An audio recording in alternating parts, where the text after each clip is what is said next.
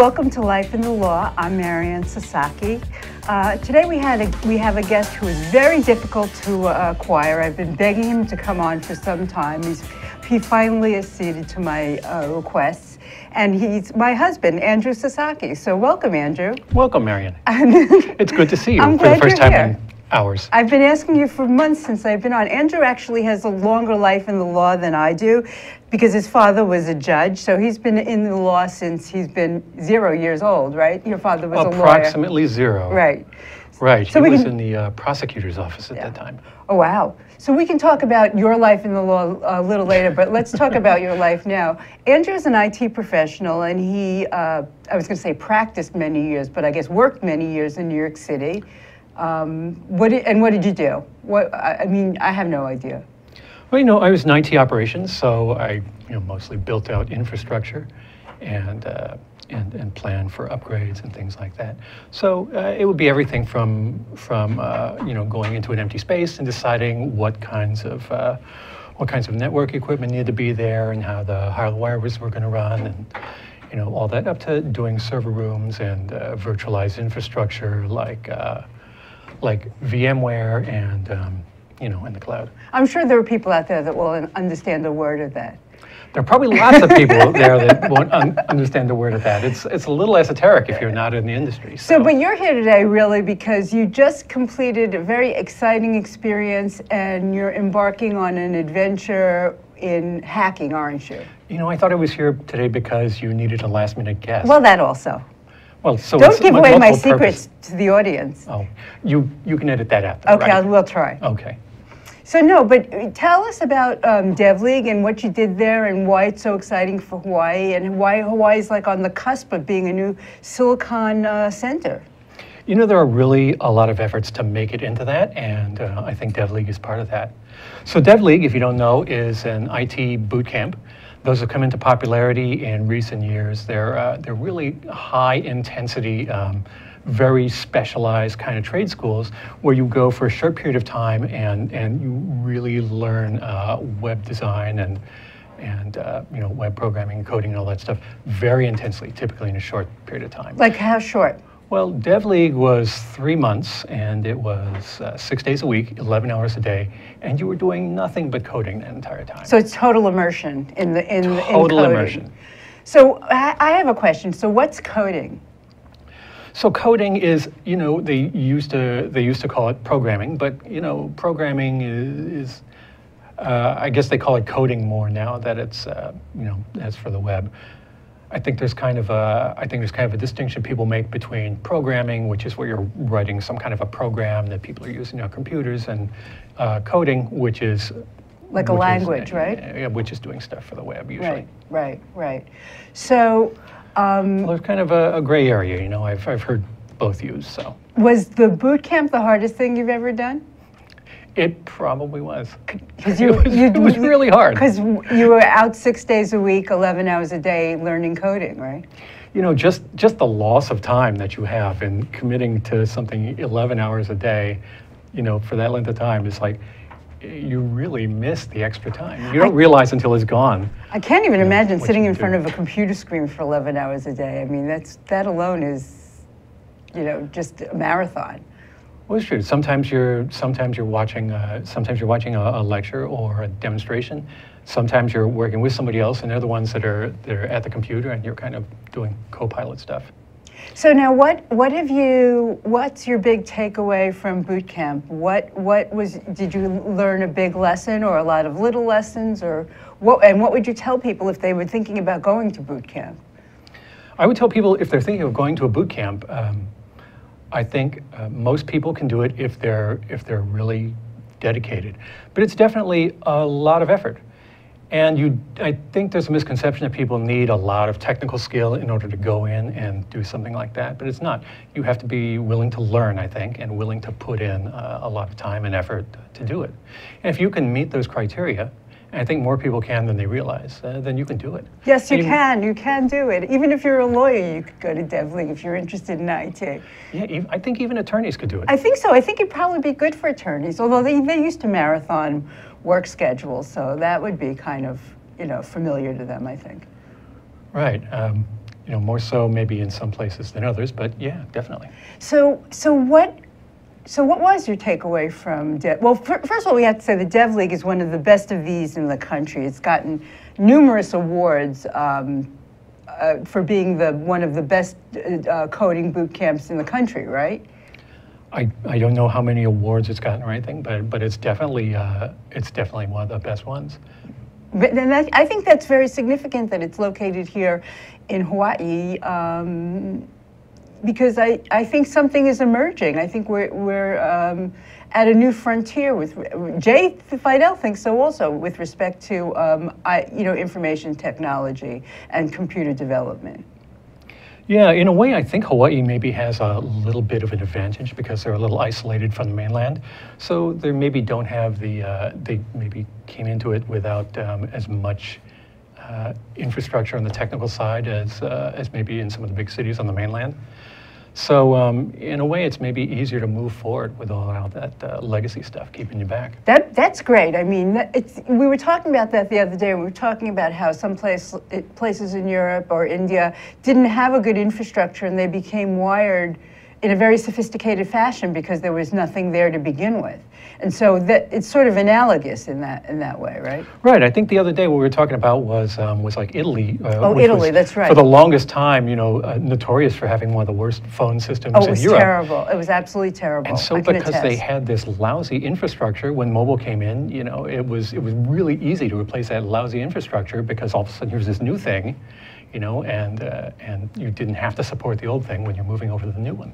So so now what's what's the hackathon? Is it connected to DevLeague or I mean, what what's the connection? What is it, and what and what are you what are you doing? What that? so uh, typically, a hackathon is where you you have a contest with uh, a bunch of individuals or teams that are competing to uh, to create some kind of program in a short amount of time. Um, hackathons, be, you know, become uh, popular, but um, really the, the government decided to, the state government decided to get into uh, the hackathon business and have a hackathon that would be um, on behalf of the state.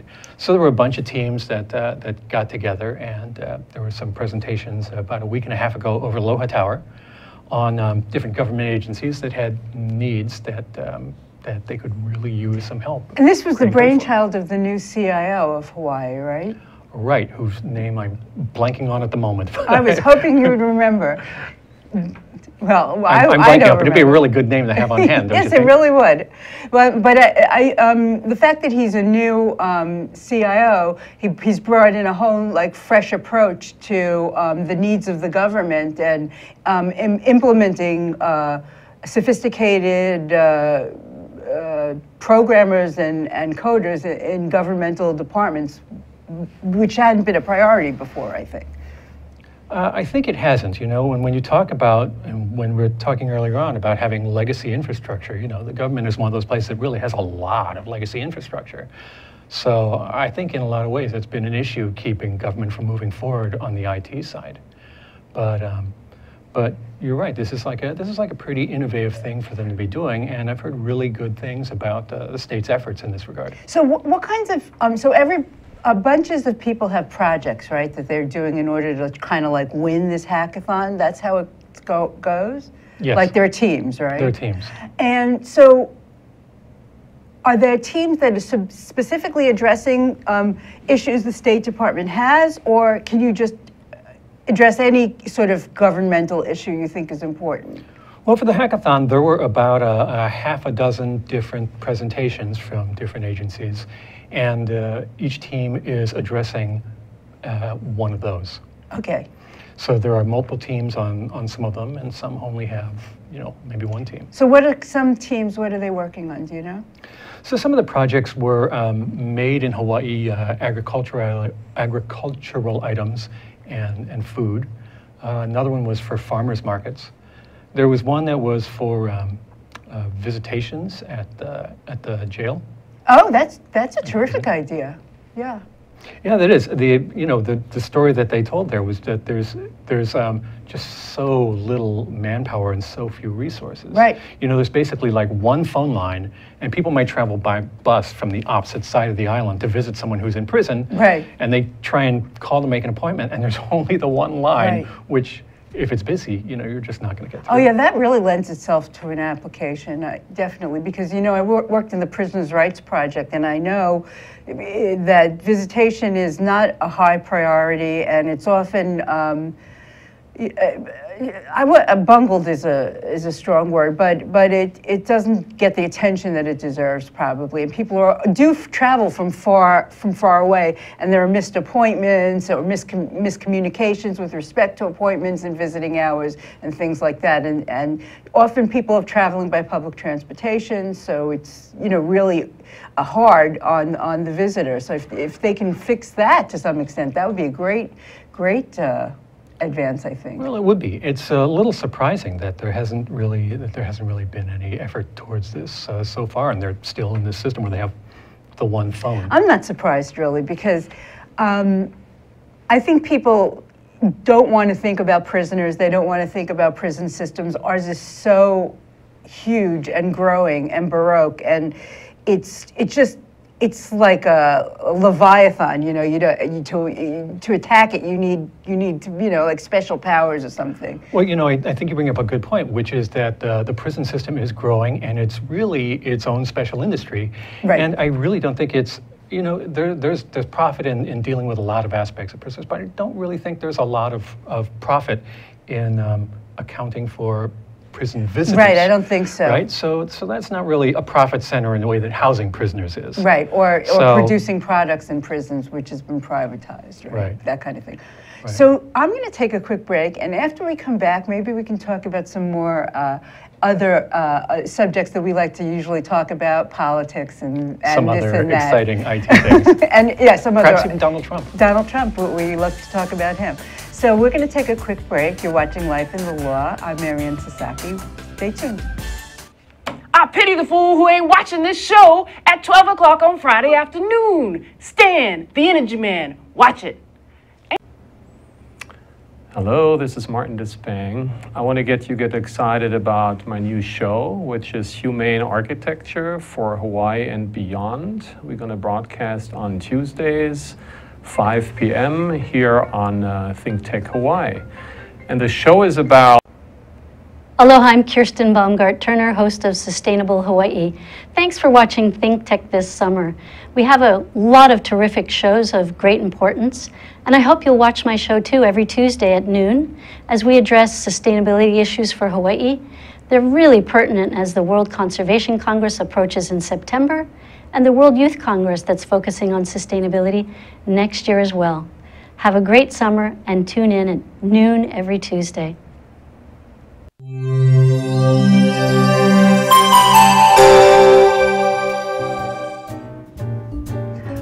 Welcome back to Life in the Law. I'm speaking with Andrew Sasaki, and yeah, full disclosure, he's my husband, but he's also an IT professional and involved in the state hackathon. And it's it's fascinating that the steps the state is taking to modernize the IT industry in Hawaii and, and hopefully bring it up to you know a state of the art. Uh, uh, product or practice or what, what would be state of the art art industry i guess is the right word right Right. Well, they really are making efforts in that regard, and I've heard some, you know, I've heard some good things about people who were involved in the hackathon, and you know, not government people, but people who are outside of government. Uh, so, they're so really what's your big efforts. hackathon subject Uh, my hackathon subject is going to be campaign finance. And well, what- it is campaign finance. And, and what will you do? I mean, how, how will that manifest? Do you know yet?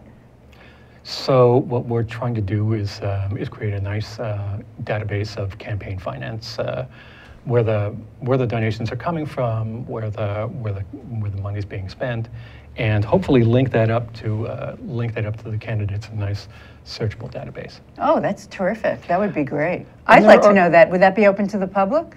It would. Oh, that, I'd love to know that information. Everything as part of the challenge is going to be open to the public. Now, there's already there's already something that's like that, but it doesn't quite meet the needs that they're hoping for. So uh, we're maybe going to modernize it. I would be totally interested in that. That's, you know, well, you know, I'm, I love politics, and I'm always willing to talk about politics. So, do you want to talk a little bit about politics? Do you want to talk about politics? Well, we don't disagree, so I'm- it's, I'm always- it's very boring. Is it? Isn't what, it? What we talk about? We could talk about uh, the fact that um, Hillary Clinton will probably be the first female president of the United States. Did you think you'd ever see that in your lifetime?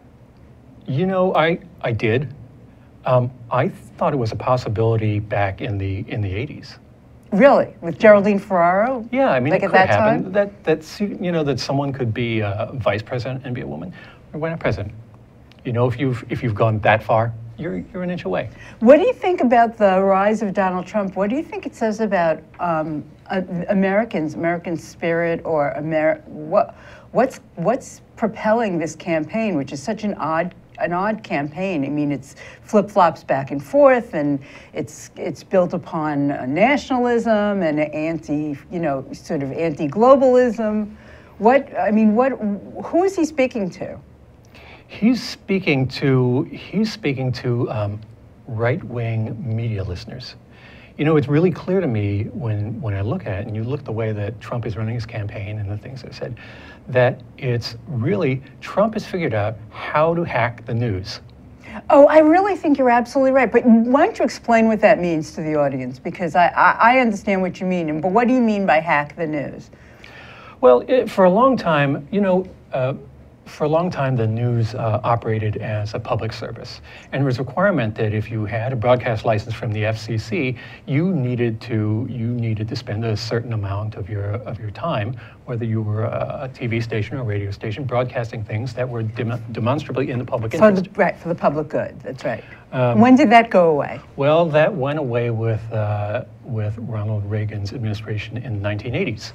Um, and I think it really started when they gutted the, uh, the Fairness Act of the FCC. You know, they used to have that, well, not the Fairness Act, the Fairness Doctrine. You know, there used to be something called the Fairness Doctrine, which was when you aired a political viewpoint, you had to give equal time to an opposing viewpoint. And you don't have to do that anymore. Well, you can pretty clearly see that on things like Fox News, right? There, you, there's no opposing viewpoint on that. Right, right, right. And and when you say Donald Trump has hacked the news, do you mean turned it against itself? I mean, gotten in virally involved in sort of. I mean, what do you mean by hack the news? Well, Donald Trump has figured out in a way in uh, Donald Trump has figured out some things about uh, the news that the other candidates maybe uh, maybe they figured it out and maybe just they haven't. figuring it out, But maybe. uh, if they figured it out at all, um, but part of it is. Yeah, but part of it is that Donald Trump has some other strengths that allow him to do this.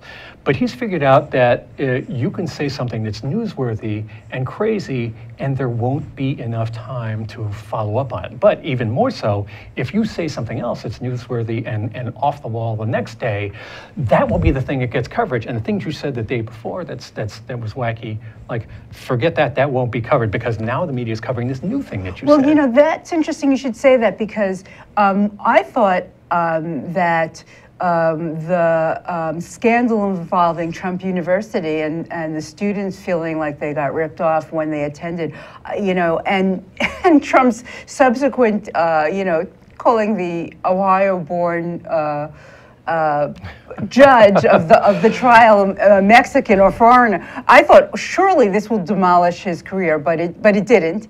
And obviously, s- other things came up. But it didn't because you know, like almost as soon as that happened, there was some other crazy thing about Trump that that was on the news and was Right. dominating all the Right. coverage. And it's been like that all the time. I mean, there hasn't been, has there been maybe as many as three consecutive days that have gone by when there hasn't been some crazy thing about Trump, and he's on the news all the time. And the latest is that um, he um, funded a Florida Attorney General's campaign out of private, out of um, nonprofit uh, uh, funds um, in hopes of having her drop the case against Trump University. How long do you think that story will last? I think that's a fascinating story. I mean, It's a fascinating story, but- Bribery, for one thing. It is. It seems like like right up to the line of, of bribery and maybe like tossing some stacks of cash over that line Right. into the other side. But Trump has said that he that he in the past, you know, was happy to pay for um, uh, what when you pay to be on the inside, what you know, pay for play or or uh, pay for influence. He's he's he said it. He said in in castigating other candidates, he said, "Oh, I understand this whole play for pay." Um, Nice use of castigating, by the Oh, way. thank you. uh, um, he, you know, I understand this whole play for play uh, thing. It's crooked, It's inside, and so I mean, here's an example of him having done it. And I wonder if it'll stick now. I mean, nothing seems to sort of stick. But right? how's it going to stick when everybody else does it too, right? Like, when uh, how can Hillary Clinton bring that up when when uh, you know there are there are some issues involving involving her with the Clinton Foundation? I'm sure they don't, and I'm Right. sure they're they're they don't rise to the same level, right? But No, they no, don't have to rise to the same level. Or, or even be or even be actually illegal in the way that probably Trump's things are, but just the fact that you can bring them the, that you can bring them up and talk about them and kind of raise questions Right. without really coming out and making an accusation, you know, shows that there is a pay for play operation going on, and people have been doing it for a really long time and are reluctant to give it up. You know. Well, it, it cuts Hillary Clinton off at the knees as far as being able to bring that up, and and you know, and the thing of it is, when Trump says that stuff, he's right. I mean, all the candidates do. There, there's such a strong link between money and getting elected. So let me ask you a question: Is your is your app gonna? uh, Can your app fix that or address it or? Oh, or good bring- God, no. Oh. don't it's you not going think to it give should? everyone. It's not going to give think- everyone a pony either. But don't you think? But I, I mean, don't you think sunlight is the best disinfectant? I mean, if we see, understand where money's coming from, and uh, you know how it's coming and where it's coming, it'll it'll people's eyes will be opened a little bit. You know, sunlight is the best disinfectant, and if we could get more detail in into the uh, campaign finances than the government requires, then yeah, I think that would be really eye-opening. But uh, you know, one of the things that's happened is that campaign finance reform has has really been stymied every single time it tries to it, it's uh, it's attempted. Well, what what about Citizens United? Do you think Citizens United will stand?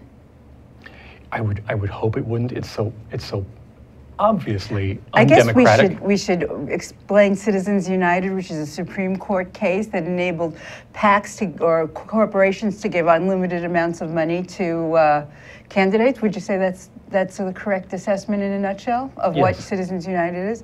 And um, obviously, you know, it skews all all uh, all kinds of. Uh, candidates' positions if you know large corporations can make large uh, contributions to their campaigns. I wanted to say something before though when we were talking about um, you know uh, even Hillary Clinton.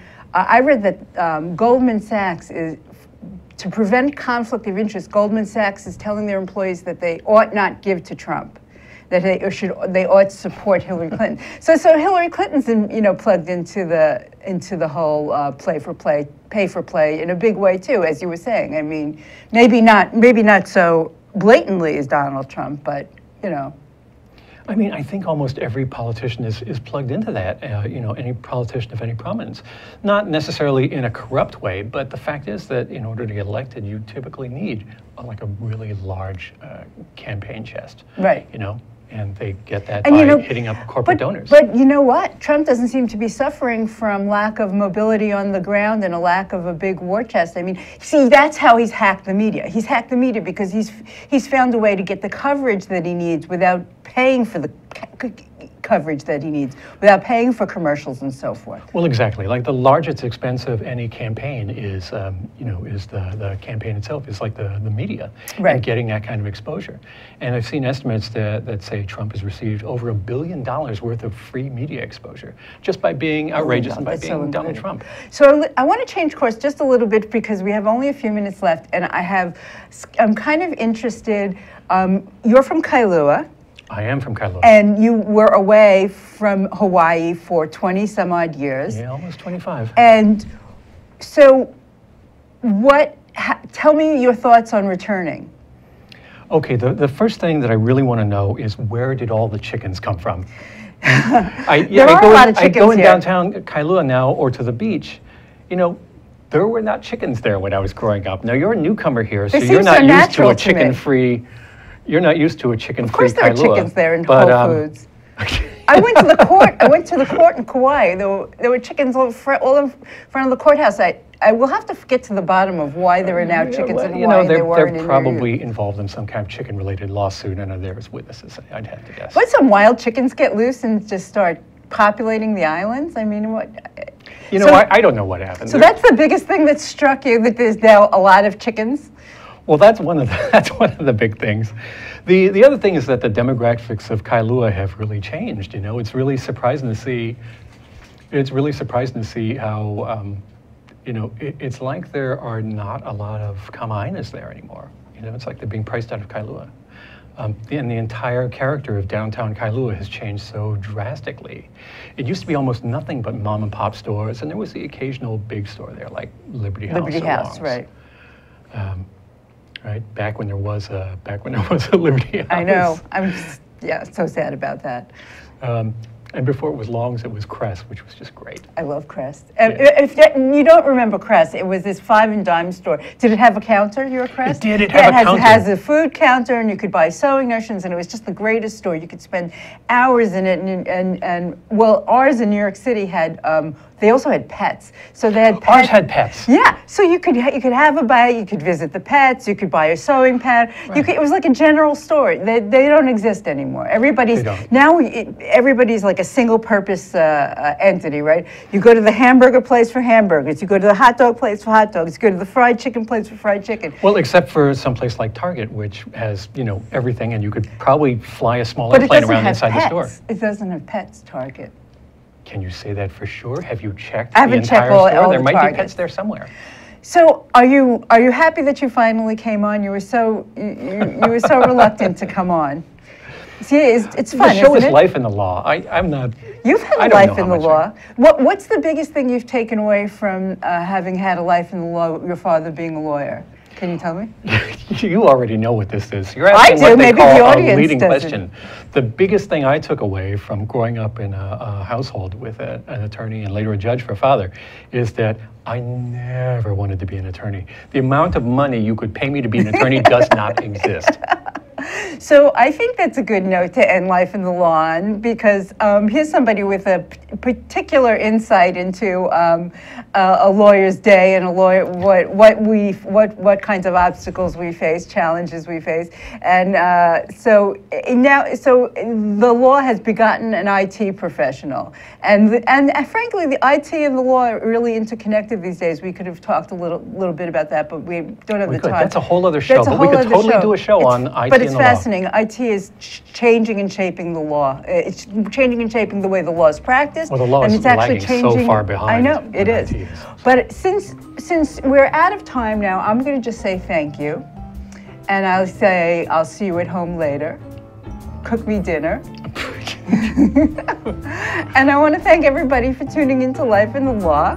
I'm Maryann Sasaki. We're on Wednesdays between 1 and 1.30, and I hope you join us.